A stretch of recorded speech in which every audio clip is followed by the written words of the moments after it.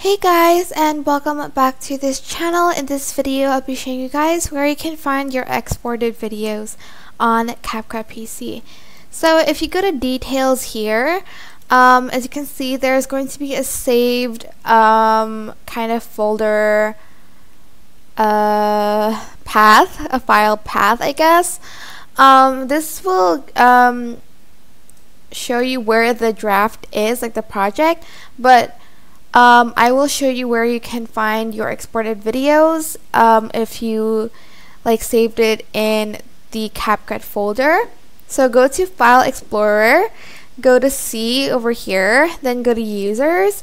If you can't find App Data, just select this over here and then create the slash and then select um, this like I think your computer name so I'm going to select Legion and then app data.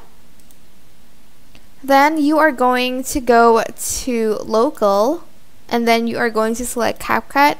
And if you go to videos, I think your videos will be here. I don't save my videos under this folder so it won't be there.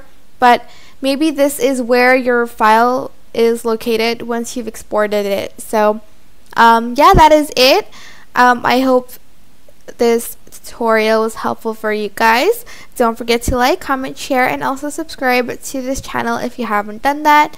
If you have any questions, just leave it in the comment section down below, and I will try my best to answer them all for you.